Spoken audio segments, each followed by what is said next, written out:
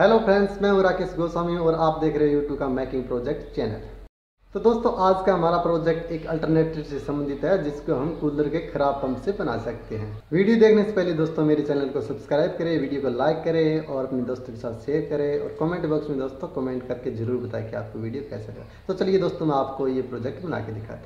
तो चलिए दोस्तों, मैं आपको ये अल्टरनेटिव बना के दिखाता हूँ। दोस्तों, इस अल्टरनेटिव बनाने के लिए आपको कुछ सामग्री चाहिए होगी, जो इस प्रकार से होगी। एक होगा दोस्तों, ये कूलर पंप, ये ख़राब हो, कोई दिक्कत नहीं है, चलेगा। एक सॉकेट चाहिएगी, एक सीट जिस पे डीसी मोटर इस प्रकार से सेट कर ले। एक बैटरी या सेल, दो पत्ती जो इस तरह से काट कर सेट कर ले। और कुछ नट और बोल्ट, और एक स्विच, और एक छोटा फ़ैन बेल्ट। और दोस्तों, इस पंप को हम डीसी मोटर पर चलाने के लिए हम इसको इस तरीके से डिज़ाइन करते हैं कि इसको हम डीसी मोटर से चला सके। देखिए दोस्तों, इसमें कोई डीसी मोटर से चलाने वाला कोई पार्ट नहीं है, जिसके हम इस पर डीसी मोटर का फ़ैन बेल्ट चढ़ा करके इसको चला सके।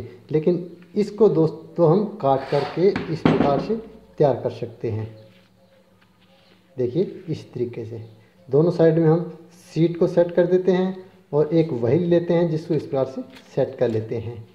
और इस प्रकार से, चलिए दोस्तों, मैं आपको इस पूरा जो प्रोजेक्ट है आपको बना के दिखाता हूँ।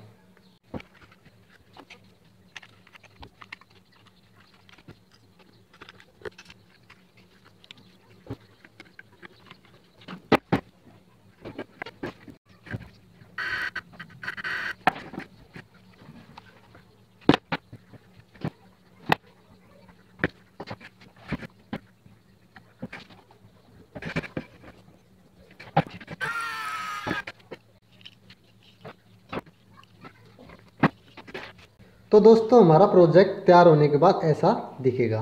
देखिए दोस्तों, ये उस पंप का हमने अल्टरनेटर बना दिया, ये डीसी मोटर है, और ये बैटरी है, ये स्विच है, और ये एक सॉकेट है जिसमें दोस्तों इस प्रकार से सेट होगा नीचे की तरफ़ ऐसे होगा, और ये अब दोस्तों, मैं इसका पावर आपको दिखाता हूँ, कितना पावर है इसका। देखिए। अब ये कैपिस्टर है ये कैपिस्टर इसके अंदर डाल के दिखाता हूँ।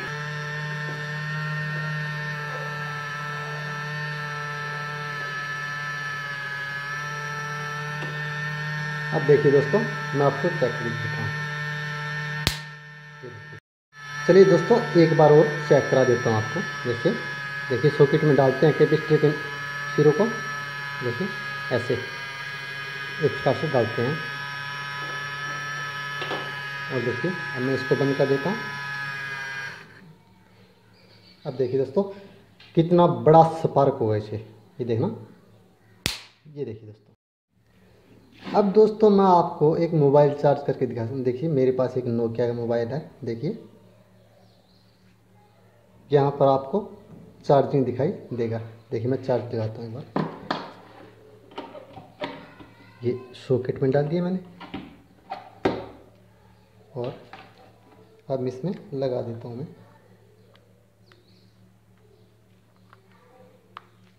ये देखिए दोस्तों, ये देखिए, और ये देखिए। कहीं से भी कोई सप्लाई नहीं है दोस्तों। अब मैं आपको इस मोबाइल को, देखिए मैं जैसे ही ऑन करूँ, देखिए ऑन करके दिखाता हूँ दोस्तों।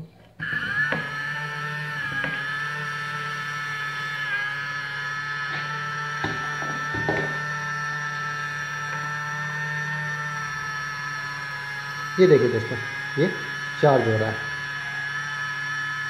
ठीक है दोस्तों, अब मैं दोस्तों आपको इसमें वोल्ट मीटर के द्वारा आपको दिखा देता हूँ, यानी ये करीबन चालीस पैंतालीस वोल्टेज के आसपास देगा एसी वोल्टेज ये देखिए दोस्तों, ये है वोल्ट मीटर देखिए, ये 200 वोल्टेज पे है। नोब को मैंने 200 एसी का, ये 200 एसी पे मैंने रखा है। अब आपको इसमें जो वोल्टेज पैदा होगी, वो दिखाता हूँ। देखिए दोस्तों, तार इकट्ठा कर लेता हूँ ताकि आपको विश्वास हो जाए।